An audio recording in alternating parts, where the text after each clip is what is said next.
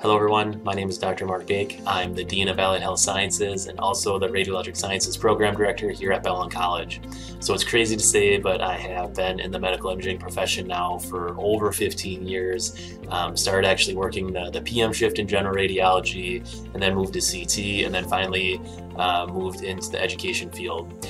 Um, so in terms of what a radiographer does, um, certainly a fulfilling career um, and we really have the ability to help the provider um, diagnose a patient and then hopefully um, by, by doing that and helping that provider diagnose that patient, that patient will have the best outcome and the best prognosis.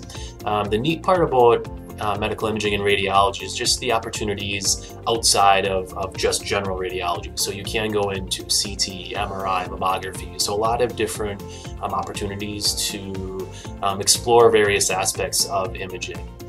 Um, you really have the opportunity to work with cutting edge technology that's constantly changing. Um, when I first started in CT imaging, I think it was probably in 2006, and I learned on a one slice CT scanner. Um, so essentially, it would take a fair amount of time to to acquire um, an image of a patient.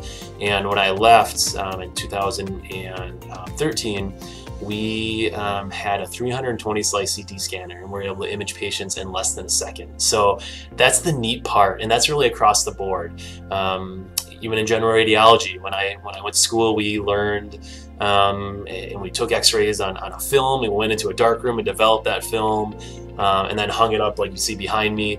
Um, and and now everything's digital and it pops up on a computer screen. So the technology is constantly changing, which really makes the the field amazing because you're always learning and you're always growing. So that's kind of a neat aspect of it as well. Um, you also have the variety to work with just a variety of people. So in medical imaging, you're x-raying pediatric patients to geriatric patients and everything in between. So you really have that opportunity to um, excel in patient care. Um, it's fast paced, so usually, you know, x-rays or procedures, they may take, you know, anywhere from five minutes to maybe even a half hour if you're doing certain things. Um, but you're seeing a number of different patients um, in one day. Um, finally, you know, a lot of people think um, for radiology, patients always come to us or they always come to the radiology room, and that's not always the case. We have a portable x-ray unit that we can bring up to patients' rooms if they can't come to us. Um, and we also have a machine, it's called a C-arm, but it's a big machine that we can actually bring up to operating rooms in surgery. So when that um, surgeon is um, operating and if they need to see something, um, we can actually take some live x-rays while that surgeon is operating. So that's kind of another neat aspect. So many different pros to the profession, uh, very high in demand, and again, just that, that constant uh, changing of technology kind of keeps you on your toes. Um, certainly some challenges, you know, we you might have an outpatient that walks in and needs um, an x-ray of their hand, for an example, but you might also have a patient that comes in through the ER and it was a trauma and they're not able to move their hand and their wrist. And so again you have to have the ability to be a good communicator um, and use critical thinking. Um, so there's certainly challenges throughout the day but um, that, that kind of is what makes the job interesting as well.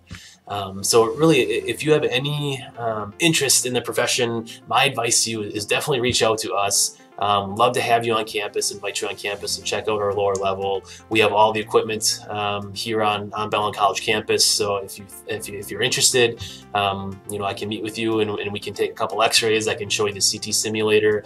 Um, and also if you have the opportunity, um, job shadow, because um, that's also a really good opportunity to kind of get that that firsthand experience of what it's like to be a radiographer. So if you have any questions, uh, feel free to reach out. Otherwise, we hope to see you on campus soon. Thank you guys.